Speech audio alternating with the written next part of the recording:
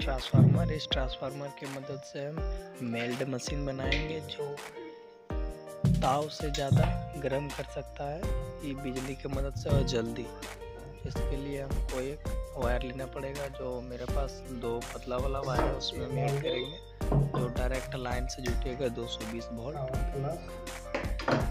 इसमें हम ऐड कर लेते हैं। लाल वोल्ट रखे इसके लिए क्योंकि चेक कर सकते हैं कि मेरा ट्रांसफार्मर में 220 वोल्ट आ रहा है या नहीं आ रहा है।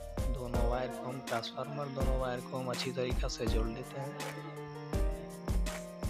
माइनस प्लस जोड़ लें, उसके बाद इसमें भी हम लाइन दे देंगे। सीधा करके जो बाद में शॉर्ट सर्किट ना लगे अच्छी तरीक़ा से बैठा लेते हैं। बैठाने के बाद ट्रांसफार्मर को मच्छी सीधा कर लेते हैं, जो दिखे। उसके बाद इसमें ये पलक में लाइन दे देते हैं, जो ट्रांसफार्मर में डायरेक्ट 220 वोल्ट आएगा। लाल बॉल को हम जला के देख लेते हैं, क्या ये जलता है या नहीं जलता, ये इसमें वोल्टेज आ रहा है या नहीं आ रहा है। देखिए, ये अच्छी तरीक़ा से ग्लो कर रहा है मतलब मेरे इसमें 220 वोल्ट आ रहा है। आउटपुट के लिए देखिए नहीं आ रहा है, क्योंकि इसमें एम्पियर में वोल्टेज दिखा है और ये हम वोल्ट में दिए हैं। तो इसके लिए आउटपुट नहीं दिखेगा। मीटर की मदद से भी हम माप लेते हैं। टोटल कितना वोल्टेज आ रहा है? मतलब 213 वोल्ट अभी फ़िलहाल मेरा ट्रांसफार्मर में। आउटपुट चेक करने के लिए क्या ये मेल्ट कर पाएगा या नहीं कर पाएगा, इसके लिए एक पत्ती लेंगे। इसको शॉर्ट करके देखते हैं ट्रांसफार्मर में। देखिए अच्छी तरीक़ा से वर्क कर रहा है।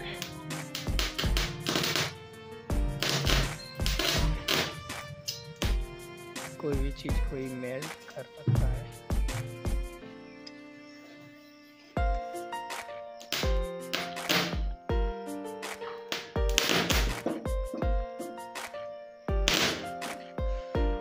मेल्ड मशीन बनाना चाहते हैं तो ये हंड्रेड परसेंट वर्किंग मेल्ड मशीन बन जाएगा।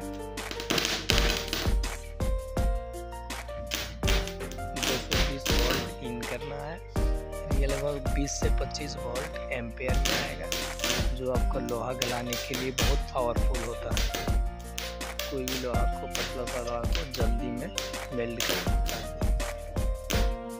आग से जल्दी ये बिजली से मेल्ड कर ट्रांसफार्मर की मदद से हम इसको मेल्ड मशीन भी बना सकते हैं।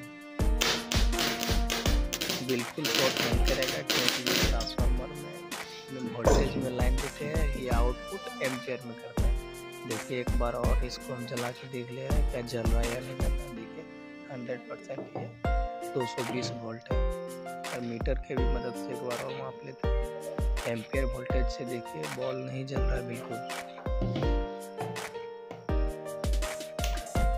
वोल्टेज में के माप लेते हैं, क्या देखते कितना वोल्टेज अभी भी मेरा ये ट्रांसफार्मर में आया है।